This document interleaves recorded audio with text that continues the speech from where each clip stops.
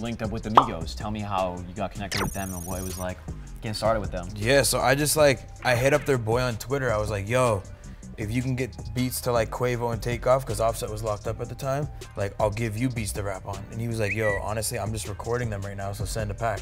So I sent a big pack to him.